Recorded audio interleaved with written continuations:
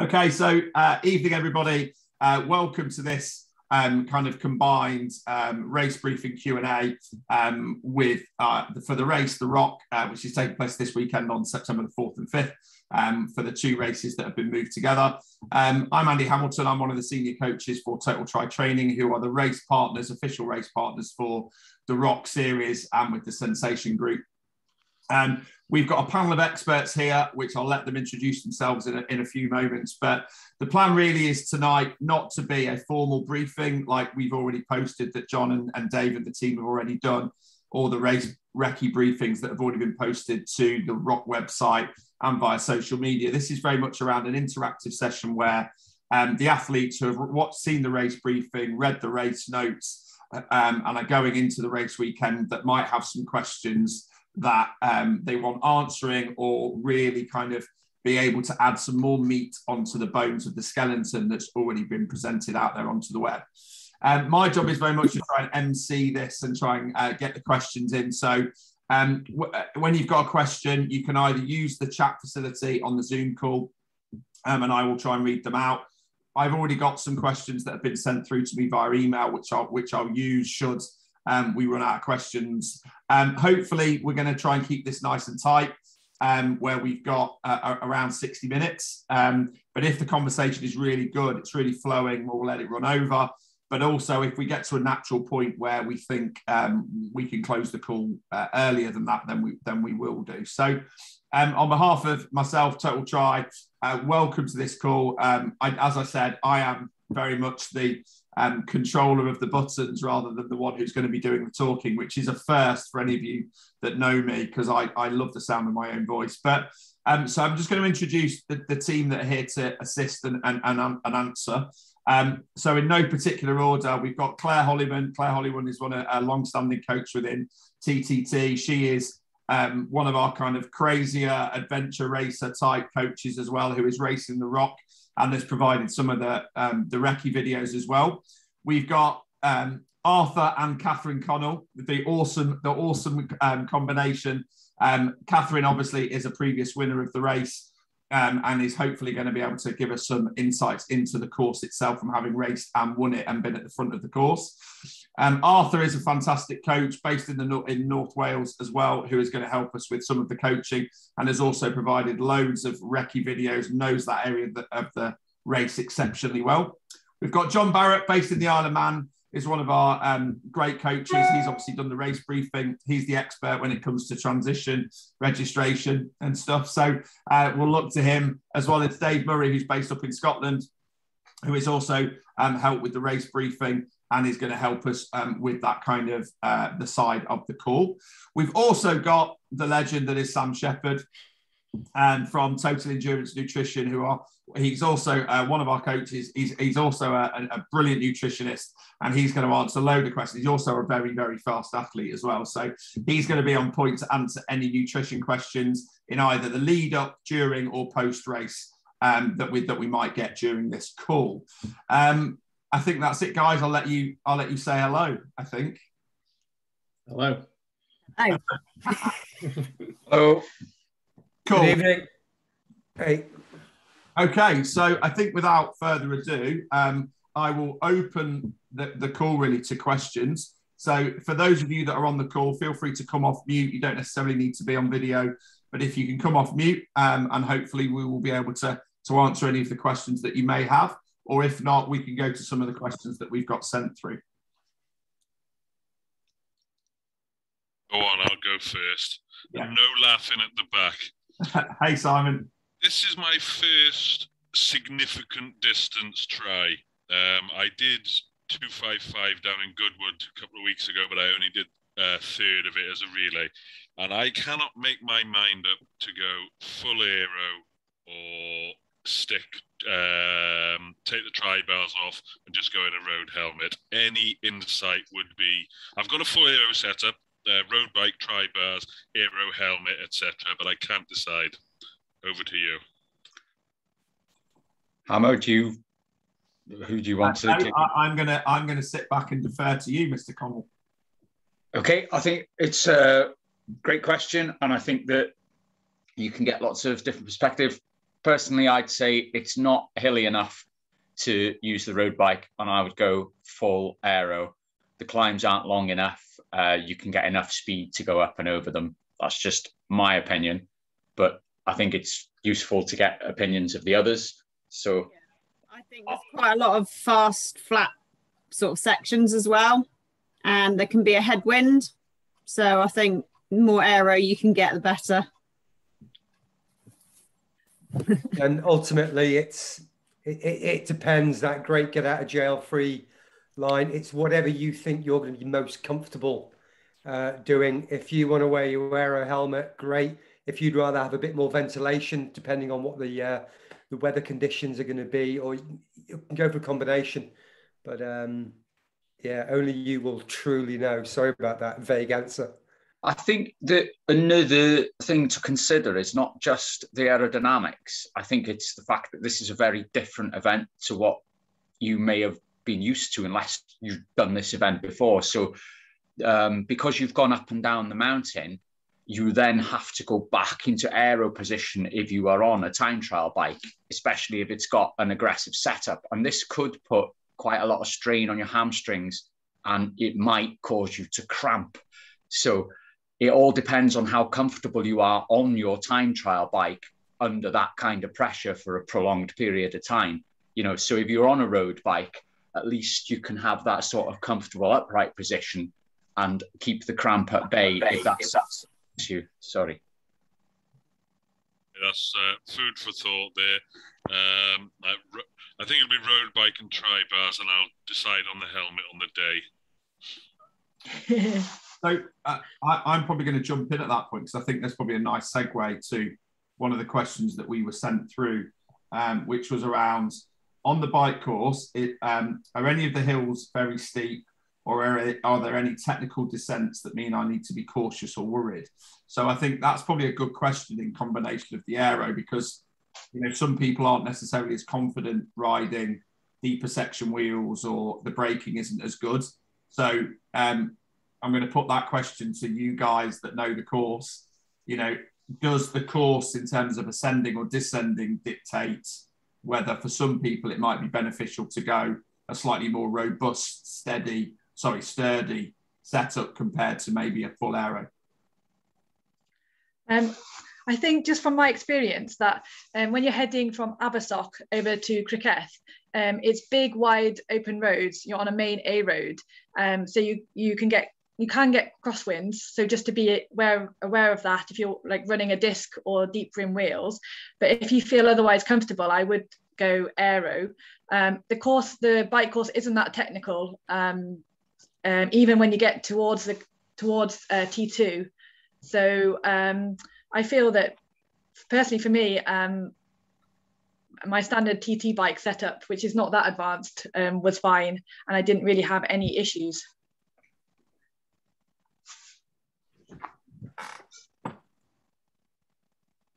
Anybody else want to? Um, sorry, I don't know what to, um, Anybody else want to add to, to that? I think I'd go with my TT bike. When I rode it the other week, I rode out from the Watkins Path and then back to the Watkins Path. Um, the only bit where I found I was a little bit kind of like came up off my bars was wiggling down through the forest mm-hmm. after Beddgelert. Um, because it can get quite busy with traffic and there's cars trying to overtake. So I found that I was like off my bars there and I was just like, take it easy. And there's a sharp, there's a turning at the bottom as well where people come out of. So I was just pretty careful through there. And then again, going into Beddgelert where you turn into the village, that was the only other little bit where I was just like, oh, yeah, take care, slow down. So it was quite busy. But I was, yeah, mid mid morning holiday traffic as well. Yeah, actually, I did find that last time I was racing that it was very busy, and you have to watch out for cars suddenly pulling out of lay-bys in Criccieth, and also just before you approach T2, where people commonly park to go up Snowdon Path. Often they don't appreciate that there's a bike race on, so they just think, they just see a load of bikes and think I'm going to pull out straight ahead of that that person because they don't realize how fast you're going. So yeah, it's really important to um, just slow down and, and take it take care.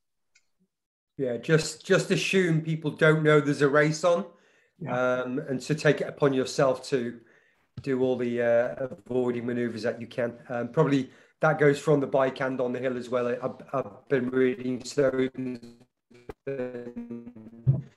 pretty busy. So if somebody doesn't get out of your way, don't take it personally. They're probably not aware that there's uh, several several athletes on the. Yeah, I agree. Um, the thing I'd probably add to that is, I think the forecast for the weekend is pretty good, um, from what I've seen, and that probably means that there will probably be some people wanting to be going up Snowdon earlier, which may be a little increase in traffic on that those sections. So assume assume everyone's an idiot on the in the cars and they you know always give them a wide berth. I think it's very easy, especially coming back to the aero question. You know, we can have our heads down racing, but uh, as the team have said, I think there are sections where having your wits about you and even coming up for those few those few you know turnings or whatever is is way beneficial than than ending your race because someone decided to to pull out on you um, Yeah. courses. Yeah. Sorry, ju- just to add to it uh, on the Icharka, we do have, uh, I'm every weekend in Beddgelert and I'm passing Watkin Path every weekend.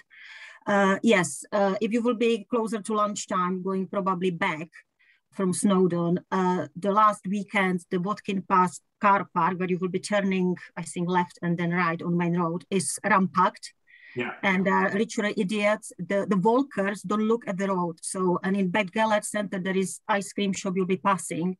The people and the kids, if they're still in bed, they will not look that you are, you know, ramping it, you know, at high speed. So just be really careful there.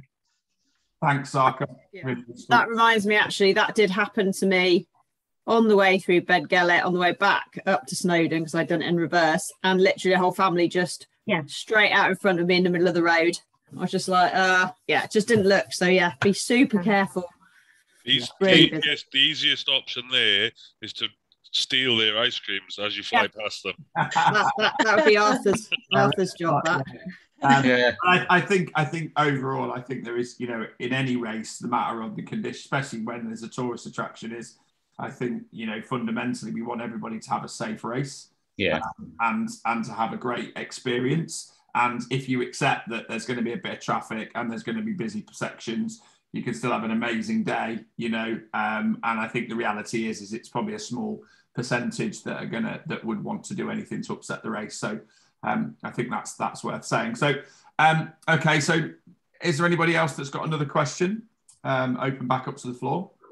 Yeah, I've got a question. Just just on the run more than anything. Um, and in fact, is is is Arthur providing everyone with bananas for the weekend? I've just seen his stash behind him.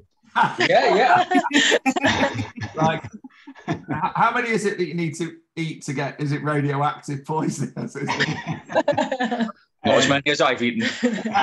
So, so on, on the run, uh, I mean, the run's going to be my worst discipline. Is, is it going to be basically a walk to the top?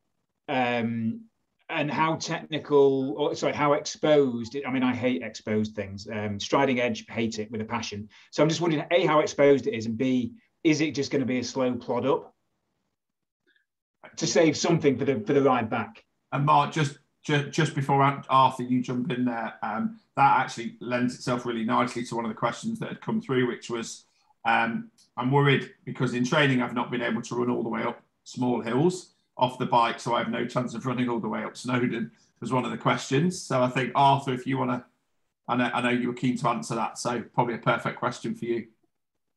I think, uh, thanks, Hammer. And great question, Mark. Like, so I think one of the problems can be that in your mind, you you get off on wherever you are in the race, unless you're leading the race, you you think to yourself that those in front of you are bounding up the mountain like elegant gazelles. And believe me, they're not.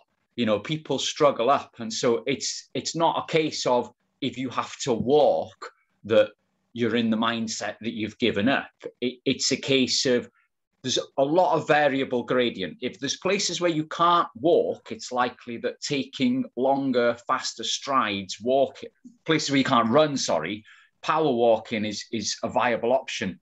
But you mustn't enter into that mentality in your head that you are then going to walk the whole thing. So set yourself little targets like, can I run for 30 seconds? Can I power walk for 30 seconds? If you can't, can you run for 15 seconds? Can you power walk for 15 seconds. And in some ways, it, it helps to lock on to somebody else and just use them as somebody to to beat, if you like. It, You're working off each other, you know, to just get up the mountain faster. So just because you can't run, it doesn't necessarily mean that you can't get up the mountain quicker.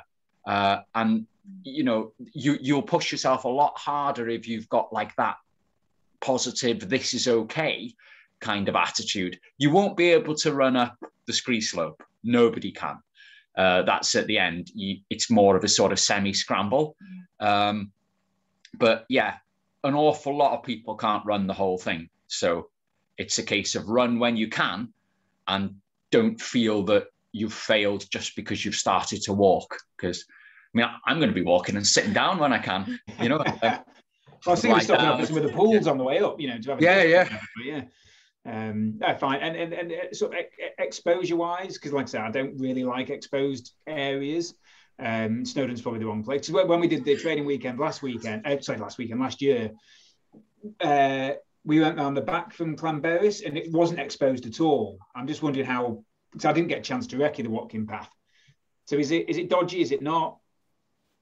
Um, I, would say that you might agree with me, Arthur. The lower section's really lovely because you're kind of going up through a valley and it feels very, very safe. And then you start to climb and it gets steeper. And when you hit that r- ridge line, is almost when, if the weather's a bit worse higher up, that's when you start to feel it and you'll notice the temperature change and the wind gets up. So it's not awful, but the scree section, it is use your hands. You know, it is take care. Yeah. Um, yeah. But if the weather is poor up there, if something does happen at the weekend, they will, I imagine, bring the level that you turn around lower. They wouldn't put us at risk. I think it like like Hannah said. It, I think it looks pretty good the weather, doesn't it? So it's it should be pretty settled. Yeah. Okay, cool. Sorry, if I can. Yeah, yeah. The only thing I would, you know, again, is not that I'm a particularly well-rounded um, uh, mountain yeah. guy, but the conditions the conditions can change, and that's one of the reasons why the race brings with it these amazing challenges of going up. And I think you know is what could be reasonably nice weather at at kind of lake level or, or, or Watkins Path start level could be very different by the time you get an hour and 20 minutes up, up, up the climb. So um, I'd probably just throw throw that in and something. I'm not again. That's what that's why we take stuff with us. So, um, but I, I think the marshals and the safety team on the course will always adjust as required, dependent on the conditions. And I, I know this is a daft question to, to, to ask, but for, for an average, I mean, average-ish runner, how long do you think it'll take up and down? Two hours, three hours? Did, I did it in two hours 34 last year, and I'm a fat old bloke. yeah, um, so uh, Mark, just to pick that up, and uh, it was a question actually from Steve as well earlier on before we, we, we started the call about what's the average time. So um, I don't know if um, Claire, do you want to pick that up? Um, well, I was looking at the results, and um, you can get people going up in under an hour and coming down really super quick. But you need to, I mean, there was quite a few people going up, up in two hours, and it depends on your skills as well coming down the mountain. Yeah, I was just about to, to add in, we, we're, we're, we're thinking about going up the mountain and that we might not be going as quick or, you know, we're losing time to our, our goal for the day. But when you turn around and come back down, just always remember to try and run within your limits. You know, don't, you know, throw caution to the wind and start you know, screaming down the mountain uh, for a couple of reasons. One, there's still lots of people on the course. Um, you might, you know, have a little trip or an accident, but then not forget that you do have to cycle 50k back uh, and then have a little jog on the beach. So, you know, just be, be mindful about, you know, the, your, the pace or the speed with which you would normally descend on, on certain types of terrain. Cool. No, thanks, guys. Appreciate that. Cheers, Mark. Mark, just just for you, um, because you are quite fast anyway on a hills. The upper part, if there are hikers, it's quite difficult to overtake, and maybe Katrin can confirm that because it's quite narrow pass. So that is, you know, impossible almost sprinting down on the upper part. you said you were giving me a piggyback anyway, Sarka. on Sunday, unless you are doing double. Oh, Sunday. Oh, yeah, yeah. Sorry, no, I'm not doing double. Doctor runs all day. Yeah. Thanks, guys. Um, okay, so I'm just going to take because there's some questions coming in on the chat as well. So I just want to before we go back to the to the group as well. A um, couple of quick ones. Is the King and Queen of Criccieth Sprint Challenge clearly marked? Anybody know that, or is it just you got to know where the start and end is? Mm. That's a good point. I, I don't remember it being there on 2019, no, so this thing. might be a new thing. Yeah. Uh, Maybe. So I'm not sure. Yeah. Okay, well, I'll, I'll, I'll, try and find the answer for that. Um, here's going um, from Catherine. Would you recommend using a GPX for a bike nav, or is the, is the route clearly signposted? Um, I think I, it was well signposted. I don't. Um, I didn't think I had any issues with getting lost, but it, I think it is worth looking at the route before before you start, so you know roughly where you're going. Um, it, it is generally an out and back in sort of one direction, and then you turn around and come back. Um, so it's not really tricky. Um, I think it's difficult to get lost, but just maybe have a little look at the route beforehand. I yeah, I would probably add to that from a from a race organizer's perspective of years of experiences. Always know the route before you start the race, whether it's the bike course or the run course. It's it's not a marshal's job to tell you which way to go because if they t- accidentally told you the wrong way, you could ruin your day. So having an idea of the course is always advantageous. I think if you've got a bike computer that can take a, can take a course on it, it's not going to do you any harm to have it on there should you need it. You know, um, I think that's probably a safety thing, but ultimately it is pretty well signposted. And dare I say it, unless you're leading the race, there's always someone in front to follow. so, and which means if you get lost, you've always got company. Yeah. Um, so yeah, I'd probably say that. Um, okay, this one I'm going to pass to Mr. Murray. Um, what's the sea temperature been lately?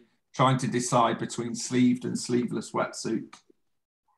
Hey guys, um, yeah. So today it was 17.4, 17.6 is what I've seen. So coming from Scotland, positively warm. yeah, me. Um, wetsuits, you can make the call on that because they're only mandatory under 14 um, degrees. So just going off the, the water temperatures just now, I don't think it's going to drop three degrees um, by the weekend. So yeah, you can make the call between sleeves and sleeveless or no wetsuit. I, I really... just sorry to interject, um, Dave, but one of the things I was in Anglesey a few weeks ago, uh, and there were a boatload of jellyfish. So I don't know what Abersoch's like at the moment. So in that case, I'd probably I got stung on my face and my wrist. So just for that reason, I'd wear a full suit, pure because I don't want to get loads of stings if there are any. Sorry. My my yeah. understanding is I think that the the ROC is a mandatory wetsuit regardless. Um, so I think I think um, from when I looked at the race briefing and, and, and, and spoke to the team, I thought they were trying to enforce a mandatory wetsuit, um, regardless. I think, and let's be honest, it's not going to get to 24 degrees. So I, I think the assumption is everybody will need to be in a wetsuit. Yeah, I would, I would definitely go with a wetsuit. Um, and yeah, Mark, going on jellies, West Coast, pretty notorious for jellies. So I would, yeah, just to be on the safe side, I would go full sleeves. Um, it depends how how comfortable you are if you want to go sleeveless. Um, but yeah, 17.6 degrees, so it's not really anything anything scary to worry about um, at all, if you ask me. Yeah, no, absolutely. It adds to the experience of the day, I feel. Um, okay, um, right, we're just going to go um, back to the, the, the, the I'm going to go back to the lines callers. Um, anyone on uh, wants to ask a question directly on, on video or, or, or speaker? Um, if not, we'll go to the, the questions that have come in. It's me again. The turn, oh. the turn right, turn round on the mountain.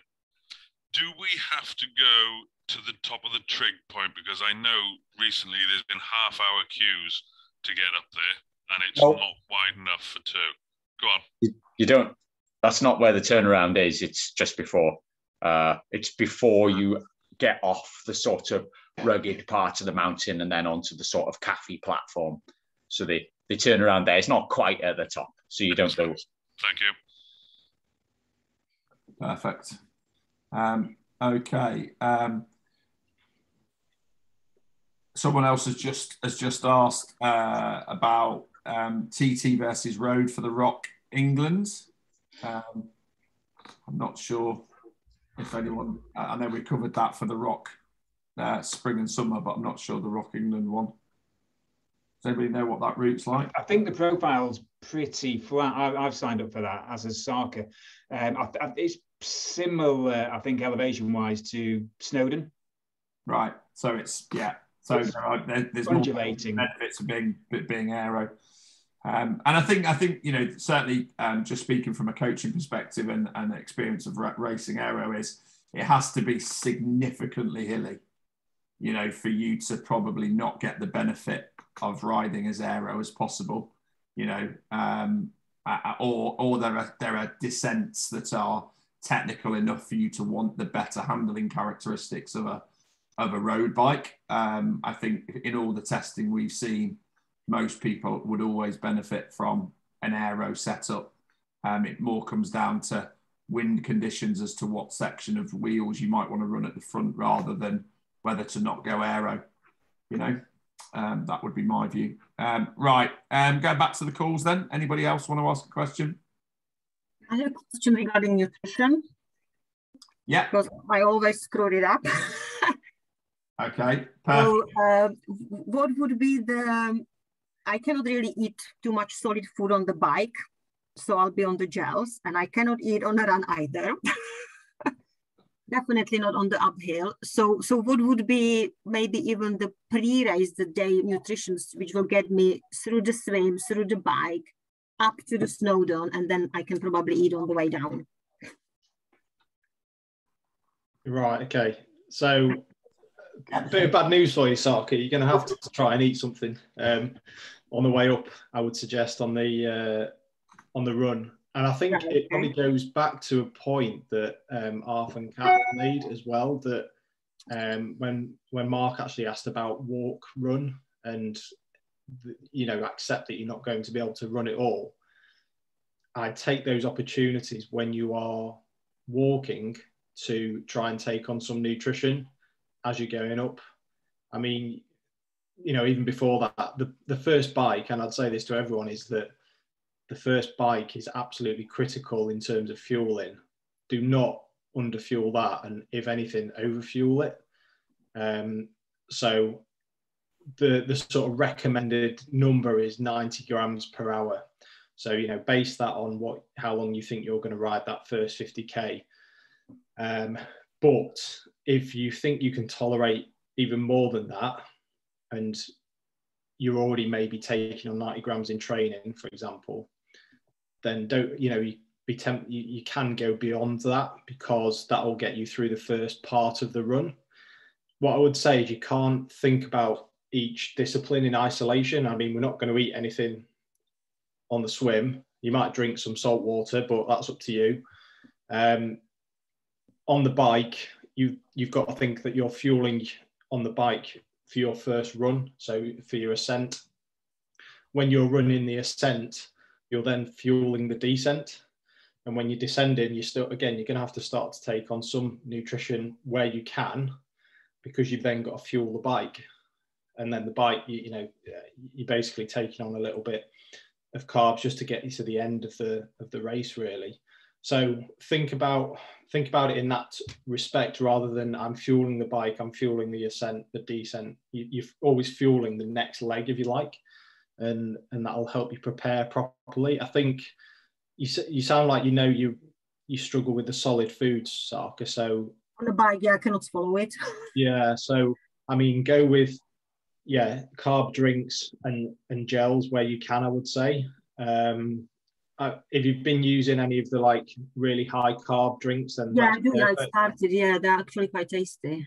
Yeah, like Maurten or Beta Fuel or the Zotin yeah. super carbs, anything like that, because they're really high carb. Supplement that with gels. um, and that should see you to you know to start the the run well. But then you're also going to have to probably do the same on the ascent. Okay. I don't know again whether you whether you've got a whether you're carrying drinks or just uh, like a CamelBak or something like that. CamelBak, yeah. Then don't be you know you can also put some Maurten or super Oh, okay. beet fuel in that as well and just sip on that regularly because you'll be getting plenty of carbs that way. Um, but yeah, I think you've, there's no way around it. You know, the amount of time you, you're exercising for here that you're going to have to to fuel it. And I've done um, a bit of a video, I think on the knowledge. I think it's on the knowledge section now on the website about what to eat, particularly the day before as well. Um, and again, this is a, a general point really that don't underestimate how much food you're going to have to eat the day before a race. Um, anyone who's worked with me will know that you basically wake up in the morning and you're just shoveling carbs down your neck for the rest of the day. Um, and it's it's not that pleasant actually. um, and I've learned to embrace it myself. Um, but you do feel quite full, but you've got to do that um, to make sure that you're well prepared for um, for the next day. Um, and a, a couple of quick tips on that, I suppose, um, is stick to white carbs. So you, you know you don't want any wholemeal or anything like that. White pasta, white rice, um, cocoa pops. Don't be going for porridge in the morning. You know things that are going to get into your system fast, into your muscles, and stored ready for the next day. And the other thing I'd say is try and, as a as a society, we eat our biggest meal in the evening. Now, that is completely the wrong thing to do when you're preparing for a race because if you have a huge bowl of pasta in the evening, for example, then your body just doesn't have time to process that, store it. It'll probably interfere with your sleep. Uh, you know, most of us probably won't sleep that well the night before a race anyway. I know I don't, but you know, it's going to play havoc with your sleep and you'll you'll get to the start line the next day feeling quite bloated. So actually reverse that. Breakfast day before, just go big. Eat as much as you can, and the same at lunch, and then your evening meal can be a bit bit smaller. Um, and that, that, they're just a couple of general tips I would I would say. But um, yeah, there's I think there's about a ten minute video on the knowledge section just for a little bit more detail as well on that. Um, Sam, sorry, did you say don't have porridge? So I would avoid porridge the day before because that's generally a more like slow release carb and it'll fill you up. And that's great, you know, for normal day to day activities where we're just trying to fuel the day and, and release energy slowly. But what we need to do the day before a race is get it into into the system through our gut into uh, the blood and into the muscles as, as quick as possible, really. And so I would suggest, you know, people who might have Weetabix or porridge or muesli the day before, uh, sorry, normally on a day, I'd swap that out and have something like Cocoa Pops or Rice Krispies, something like that, that's just like straight into the system. And then it's not filling you up for the rest of the day. You know, when it comes to mid morning, you can then eat again. Um, I'd say fairly comfortably, but you know, you'll still be a little bit full from breakfast. This, but- this just sounds great. This does. you know what? Let's that is ask this guy more attitude- questions. What else can we eat? and that is exactly the attitude. Um, you just got to embrace it and go right. I've got today where I can eat as much carbohydrate, which I would normally, you know, the white carbs that you tend to avoid normally. You just embrace it and go. I can eat as many of these as I can today, and I know in the morning I'm going to wake up feeling great and ready to race. Um, so yeah, just just embrace it and love it. Really, it's a day of eating. So it's those um, it's those low, low or lower fiber foods. You know, because remember, especially on race day, because what goes in fiber wise generally comes out.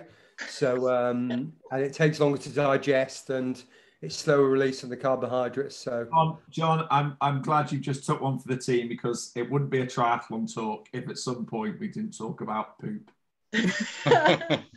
It's like it's that's our number one hobby. Well, can, I- can I just say, um, and yeah, like somebody asked, I went in Llandudno triathlon one of the years I, I, won it. Somebody asked me afterwards, what did I eat the day before? And I genuinely ate a whole white loaf with Nutella. And, and the woman just laughed in my face. She thought I was just, she thought I was lying, you know, that I'd gone for this sort of super complex stuff. But uh, I think I'll go for that again. It sounds good. Loaf of bread and Nutella. Love it. Great. Uh, thanks, guys. Sam, there are a few more nutrition questions, so um, so keep keep on your toes. But uh, as always, Sam, um, great advice, and I think always some some nuggets there. Unfortunately, not chicken. Uh, uh, okay, um, let's go back to the questions that have come in from the um, on the chat. So let's just have a quick look. Okay. Um, is the run near the top well signposted? Having walked up and got lost, um, admittedly in fairly bad conditions, just not keen to repeat. Hmm, I guess it's a good question. I'm not sure. I think along the, the scree slope, I think it, I don't remember it being that well signposted. Um, but I think generally you'll see like a big line of people going up. So it, if, if the visibility is okay, then it should it should be quite obvious. They do give you a map that you're meant to take up with you just in case the visibility is poor. But then I do wonder whether they will turn you back sooner rather than let you go right to the top if you can't see anything. Yeah. Fingers crossed for a clear day. Um, it comes back to that point, doesn't it? Around know know the route, you know. Um, but unless you unless you're winning, I suppose that then um, there'll always be a line of people. But, yeah, um, it's probably a good question. Actually, I know there's been a question that's coming around the mountain bag that everybody's got to take with them. Um, what it, is that where you would put your map and you would put anything in there in terms of your safety equipment and stuff? So I'll put that to the group, just a reminder for the group what that mountain bag is. Did they, they give you a oh. map though, don't they? Yeah, they give you a map. Um, are you talking about the bag that you've got to put all your equipment in? Yeah. And I think there's a mandatory kit list that you of things you have to carry, but just bear in mind that you have to squeeze it. Last in 2019, they gave you like an A4 draw drawstring bag to put your mountain bag in and your trail shoes. So it can be a tight fit, and this is something I quite I struggled with because I had quite a big bag and my kit was quite chunky, and I couldn't get my bag into the small A4 drawstring bag when I when I finished off the mountain. So it is a balance between making sure you've got a mandatory kit list, but not taking too much stuff that you can't actually fit it into this small drawstring bag that you've got to get everything into um, in the transition for it to get transported back to Abersoch. Yeah. I can get the bag from 2019 to show if you like.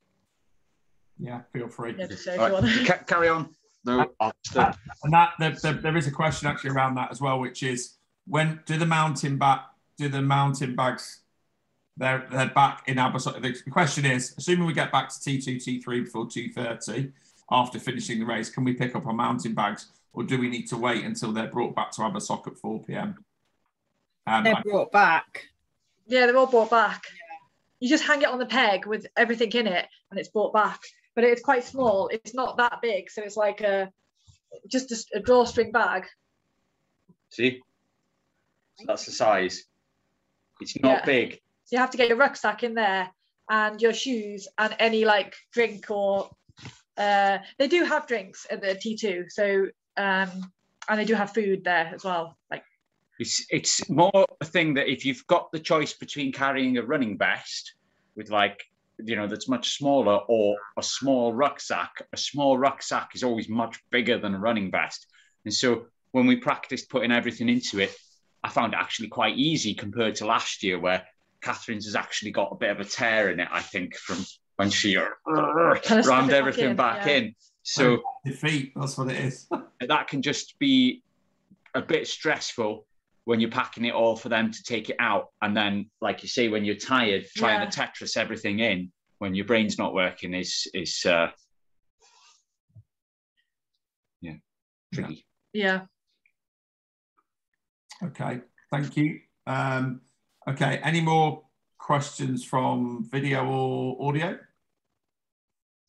Regarding the water, sorry, you take up because um, on the Snowdon, uh, I was on the top and lots of the, the athletes, they carried the bag as well, similar, you know, with their water. They actually were thirsty because they didn't carry enough water with them.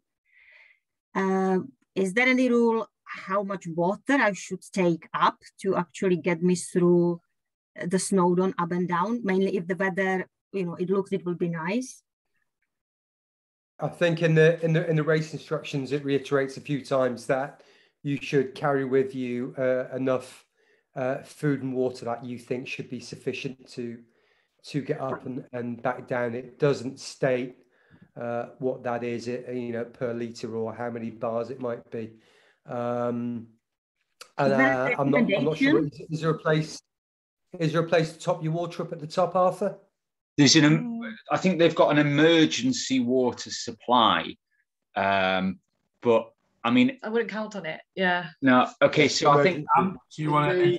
Yeah. In the in the race pack, it suggests that there's a there's a emerge like Arthur says it's emergency water uh, stop at 4k going up, and then also at the summit. In theory, I probably wouldn't bank on the one at the summit being there but maybe at the 4K point. Um, I think Sarka just ideally you'd work on about 500 mils per hour okay. as a as a minimum. Um, so try and I guess yeah work it out based on that. Um, but it probably goes back to the other question that you asked in some ways that you don't want to get to the bottom of the mountain in any sort of dehydration state. So whilst I answered the last question about taking on enough carbs during the bike, you're also hydrating for the ascent as well yeah. on the bike. So make sure you're drinking plenty. And if, if you if you overdrink almost a little bit on the bike, it's not too much of an issue. So okay. for example, if you normally took on, I don't know, 750 ml bottle per hour when you're cycling, if you even went eight, 900 a litre, I don't think it'd be too much of an issue um, and you'd be in a good place from a hydration perspective to start the ascent. Okay, thank case. you. Okay, good question. Um, well, here's a good, here's a good one. It's a nice uh, from the from the chat, which is um, does anyone brackets not serious racers, and I'm sure even serious racers have had this this conversation. Does anyone ever change kit after the run leg for added comfort on the return leg, or wear bike kit after the swim rather than wearing a tri suit. I'm not going to break any records, so thinking of comfort versus time. I'll open that up to any of our coaches. I, I would say that like my TTT tri suit is just as comfortable over time. No, it's um, I know uh, you know it, it's true though. I, I mean, I I've been out in that TTT tri suit, and I could swear. From totaltritraining.com. It's, it's true though. I could swear that I'm in bib shorts, right? It's really comfy. The chamois in it is really, really good. Um, and so, you know, if you've got a chance to get one of them, I'd say that they are super, super comfortable. Um, but you know, really good quality tri suit for something like this, like you know, you're going to be on the bike, you know, two to two and a half hours. A good quality tri suit. You, you know, it's only beyond that, really, isn't it? That um, that a much bigger pad. And then, you know, you wouldn't want to really like if you if you're talking okay post run to come back on the bike, then maybe it's an option. But certainly you wouldn't want to be in anything other than a tri suit for the run section because it would be uncomfortable being in bib shorts, I would say, running up and down. That'd just be yeah, and I just think it's just a question of whether you can get an extra pair of clothes in that small bag that, that they give you to put into T2. You might find that you've not got enough space in that bag for everything. Yeah. And the, the other there's anywhere private oh. either to get changed. Yeah. And then, and then on top of that, it's depending on uh, the level of athlete that you are, is five or 10 minutes getting changed going to be uh, close to to the cutoff at the 4K point yeah. for, for 12 o'clock. That you know is a consideration to to think about. I, I, and I, I would probably add to that is, you know, I think, if if you take out the the transition bag issue, I think if you were to put bib shorts on and a and a well fitting cycle top cycling, there's nothing to say you couldn't run up and down in that. Um, you know, it, but the reality is, is if a proper set of bib shorts is going to chafe you know, is what what what's the payoff? Um, for me, I, I think a good quality tri suit should should be should be plenty. Um, and if you've been riding in it, you've probably got used to it. So uh, I do think there's a payoff, but I think the fundamental issue is somewhere to get changed or somewhere to store the kit that you want to get changed into um, is going to be is going to be the deciding factor there. Um, okay. Um, anyone else from the callers? It's me again. Simon, I'm glad to see your, your uh, have you put 50p in the meter yet? Oh, it's my webcam on here, mate. Um, I listened to the, or I watched the briefing with John and David earlier on today, and they said if you get caught by the train on the way out, and you have to wait at the level crossing for I don't know five, six, seven minutes, they give you that time back. It, that's what that's what I think. I believe it was John that said that on the briefing. That so if you get caught by the train in Pwllheli, they give you that back time back at the end of the race. So say for instance you lose five minutes waiting for the train. What happens if you get to the 4K turnaround at 12:02? But you've lost five minutes? Great question, Simon. I don't know the answer to that, but what we, but what we can do is we can uh, we can ask the organising uh, team, the officials.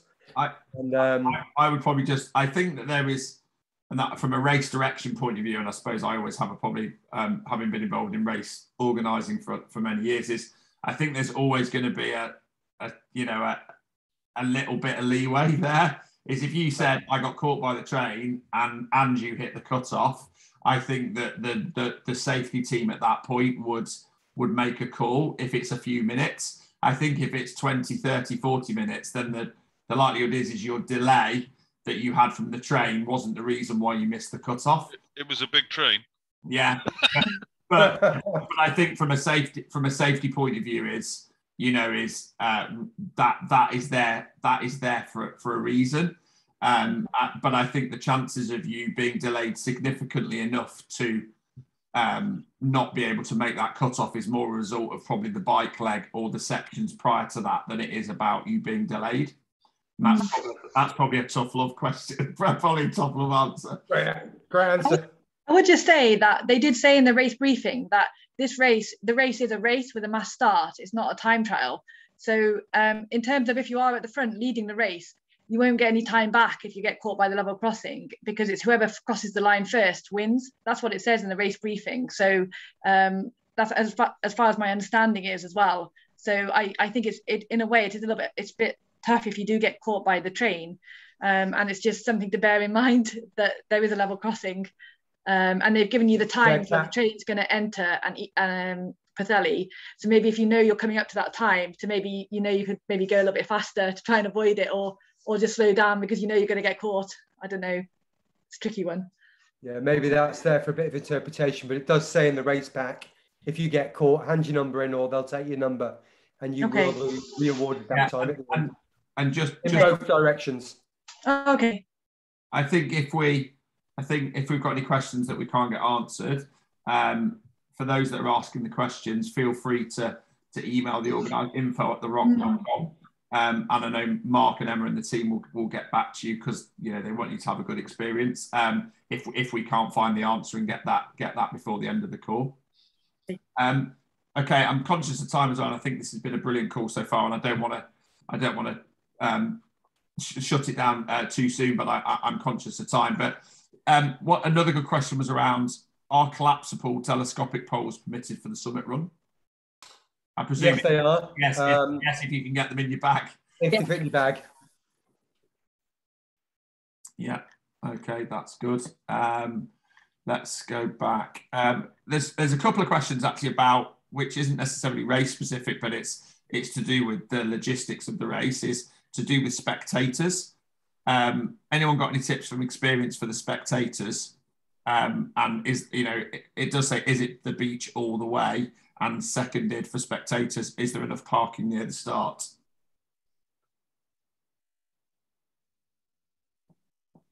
Everyone just nodding. um, yeah, there, there- there's lots of parking, um, but you do have to pay for parking in the golf. Um, it's called, I think it's um, lawn golf or something like that. There's lots of parking. It can be quite expensive, um, so you can pay in advance. I think for the car park, um, uh, or there's an app you can pay for pay for parking. Um, and then the 1k run on the beach is 1k on the beach. So it's kind of like I think 500 meters out and back on the beach to end with. So yeah, that's a good good place to spectate. Awesome. Thanks, Kat. Um, right. Any other questions from the calls, from the callers? No. Okay. Um, I'm going to quickly refer to a couple of the questions um, that we've had in, which is um, if it rains, not that the forecast has suggested that there, there, will be rain, but it is a mountain uh, at the end of the day. If it rains, should I consider different shoes for the run course, given it can it could get slippy? You should probably be wearing foul type grippy shoes for the run course anyway. It's not something that's appropriate for road shoes. Um, I think if it rains, it it's you know I would I would suggest that if you see any of the path any lines off the path where you can take the grass, take the grass anyway. It's always easier to run down the grassy sections than it is to run on the solid ground, and you'll feel better. But if you notice that the steps or the or stones are wet, there isn't any real grip on any shoe that will save you. If you hit it hard, you will slip. So uh, take extra care and don't do anything that's outside your comfort zone. Um, you know, don't try anything new on slippy rock descending. Uh, yeah, I, I agree. Okay, um, thanks for that. Any other questions from the group? I mean, we've got still got 40 on the call, so I think it's been very uh, useful so far. Any other questions? I'm just there was a couple of questions directed towards Dave on uh, sort of logistics, uh, signing in and transition type stuff. Came in on, on an email. Um, let me just, yeah. So um, can you confirm the timings for the different registrations for each race? Um, yep, if you bear with me, I'll just double check what they are again. Um, I'm just going through that email at the moment, checking all the all the questions that we didn't have answers to. Yeah. Um, so check in for the summer ROC is on the Friday. Um, and that's between 5 p.m. and 9 p.m. And then the ROC spring is on the Saturday, and that's 4 p.m. to 8 p.m. Um, and that's to register. And then the transition on race day opens both the same times, six o'clock to 7:45 for both days with the race starting at eight o'clock. So five to nine on Friday for the ROC Summer, and then 4 p.m. to 8 p.m. for the ROC Spring guys on the Saturday. Um, then just a couple more questions that we've had through regarding COVID. Um, I guess I may as well just go over these just now. Um, do athletes need to have a negative COVID test prior to the race? Um, yes, to get the race go ahead, they had to agree this with the local council. Um, so you can provide your negative test through the NHS app, um, or if not possible, with a physical lateral flow test. And if neither of them, you'll have to do a lateral flow test at registration, and they'll provide one for you. Um, I guess that's probably one of the biggest one regarding COVID. Um, then social distancing throughout the course um, especially at uh, racking and registration, make sure you're sort of keeping apart. I haven't read anything about needing masks, but I think it's probably best just to go with it because you are going to be in this condensed area. So I would on the side of caution and go with a mask um, and just stick to social distancing. But yeah, while you're racking your bike as well, I would keep the mask on. Um, just quickly going through. No requirement for masks at the swim start, um, but again, social distance as long as you can up to the start line. And I believe that the question that were asked to us via email. Yeah. Um, so yeah. Yeah, there's a there's a couple of ad- additional points on that email. Thanks, Dave. Um, one was regarding the bike course. The roads are 100% open. There will be um, maybe one or two stop go boards, but it's still your responsibility to check that it's safe to go when uh, when you've been give, given the go, but the roads are 100% open. Um, the mountain bag that we provide will be ready for you uh, on your numbered peg at T2. Um, I think the only thing I would add is the, which was a question around the swim, which was if the conditions are rough, could the swim get cancelled? Yes. If it does get cancelled, it will be replaced with a three kilometre run. Um, uh, whereas it, it, would only probably get shortened if the water temperature would fall below. Um, and given that it's currently nearly 18 degrees, I suspect that it will it will go ahead unless it resembles the you know the unless it resembles Cape Horn. I think I think the swim is looking very very good for the for the weekend. Um, let's just um, okay. A couple come in. Do we get race belts provided within the registration or race numbers? I would suspect that's a no. Nope, haven't seen anything to say yeah. that you get a race belt.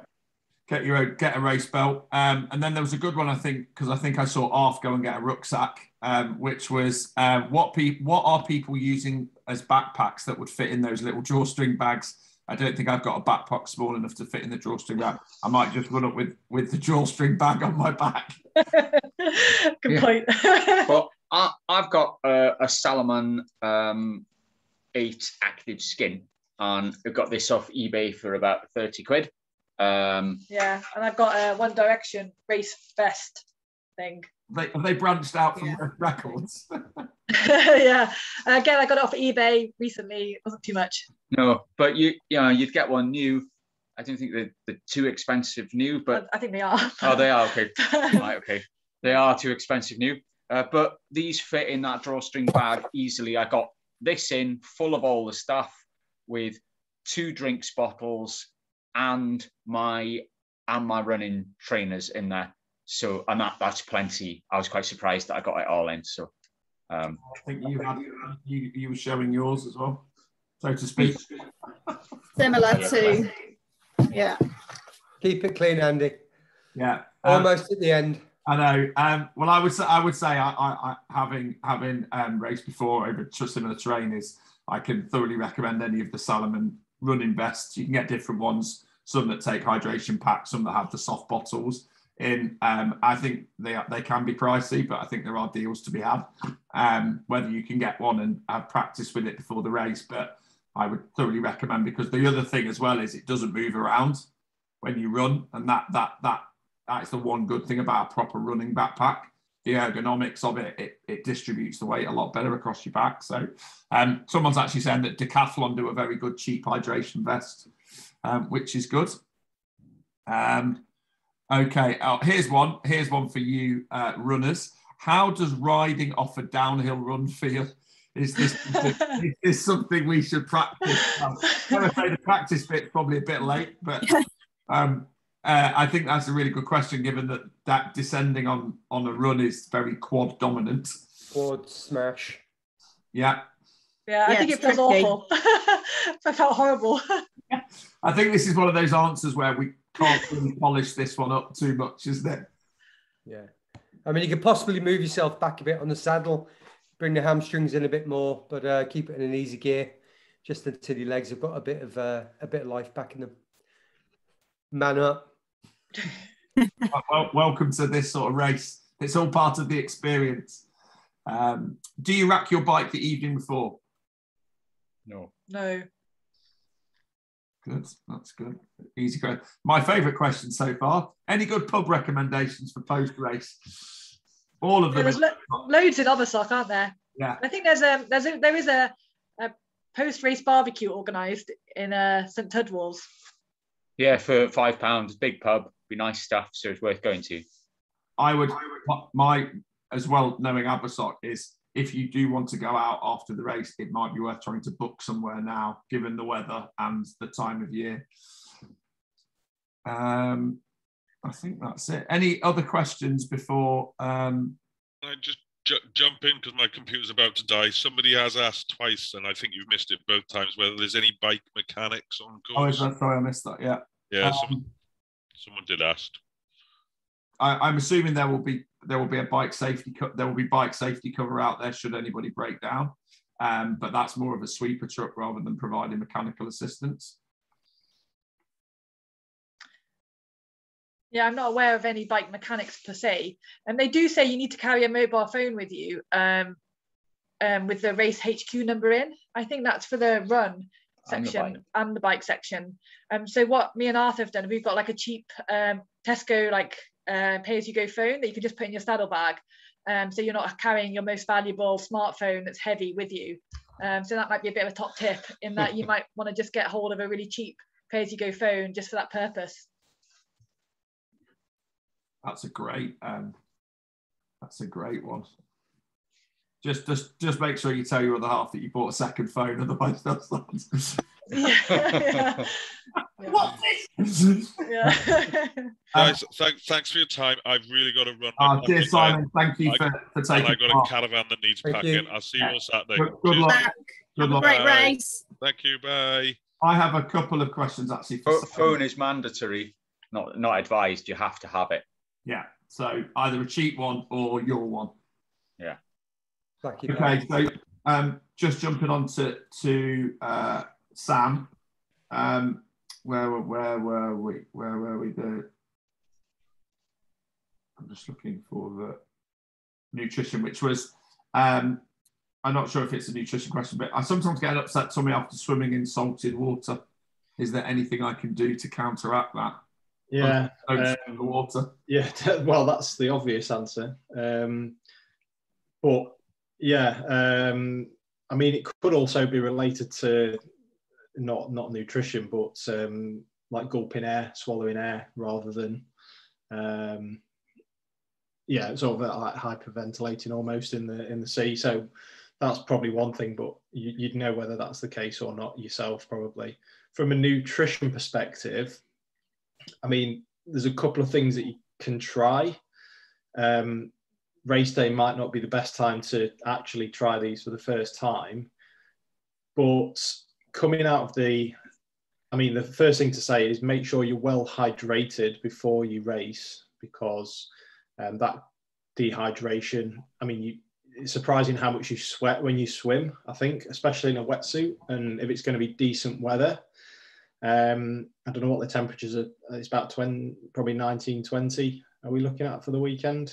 Yeah. You know, maybe not so early in the morning, but um, again, it's surprising how much you sweat. So just make sure you're well hydrated in the morning. Um, and then when you come out of the um, sea and get onto the bike, again, there's a couple of things that you can try. Um, and they're somewhat of an old wives' tale, the, the Coca Cola idea. So using flat Coke, um, just because it's quite acidic, so it can sort of help neutralize um, your gut a little bit and, and help with that. But also, it's going to give you some um, carbs as well, so it's not a bad thing to, to go with. And the other thing that you could try, and actually become it's becoming quite popular now in sports nutrition, is Kendal mint cake. Um, so it's got obviously quite minty peppermint sort of taste. Um, again, that can help sort of settle your stomach a little bit, and it is ram packed full of carbs. I think there's like 85 grams of carbs per 100 grams of Kendal mint cake. So if you want to use that for fueling um, anyway, irrespective of whether you've got dicky tummy or not, then it's not a bad option either. Um, yeah. Thanks, Sam. Um, well, I think we are starting to get to that point where we've had loads of questions. All of the ones I think we've been asked on um, email, I think, have been covered. So I'm probably going to open it to the floor one last time before we probably try and um, bring a close to proceedings, really. So uh, one last call for any questions. I'm done, guys. I've got to scoot off. Um, so thank you. Thanks, Mark. tonight, And we'll see people on uh, on Saturday. Yeah. Cheers, Mark. Cheers, guys. Thanks very much. Bye. Cool. Well, I think I think on that note, um, I think we're probably going to bring it, um, unless the coaches have got anything they want to add as a last as a last thing. Taking the scenery because Yeah. it's beautiful. Especially when you're riding out from Abersoch, you can just look and you can see the mountains, and it's just just don't just take it in and enjoy the whole day. It's really good. I I absolutely second that. I think there are there are moments that you'll remember, and I think staring at your Garmin whilst in some of the most beautiful scenery in the world is not the thing that you want to remember. is I would say if you do nothing else, enjoy the race and where you are, especially given what we've had in the last 18 months. It'd be, it'd be amazing to be out. I think on this course, it's a special race for many reasons and probably for many people. Um, you know, given the distance and the challenge that it presents, I think it's a, an amazing race, you know, backed up by tu- a tough, a tough conditions, uh, sorry, a tough course, but backed up by the best scenery, some of the best scenery in the world. I have to say it was uh, the race I most enjoyed in 2019 and the level of support out there was amazing. Like when you're coming back down off um, off Snowdon everyone's so friendly. Even all the walkers and everyone was you know just cheering you on. It was it was really good. Awesome. Um, so it's almost making me want to do it But not quite, eh? Not quite. Yeah. Not quite. Um, so the first thing, I know there were a couple of questions about about stuff within Abersoch. I think Abersoch's got a really good website. If you go to abersoch.co.uk, um, you can get loads of info around campsites, pubs, r- restaurants, places to stay, if, if, if that's possible, if you've not already booked it. Um, if not, you might need a tent. Um, guys uh, and girls, it's been a phenomenal call, just over the hour. Um, on behalf of myself, Andy, the whole team, Total Tri Training, and the team at the ROC, we wish you the best of luck for what's due to be a sensational weekend of racing, both conditions and course. Um, of course, if there are any questions, do feel free to reach out to any of us at Total Try or any of the team at the ROC, and we will endeavour to be able to help you out. But um, have a great weekend, stay safe, race well, look after each other, and um, we'll see you on the other side. Cheers, guys. You. Hello. Bye. Good luck, everyone. Bye.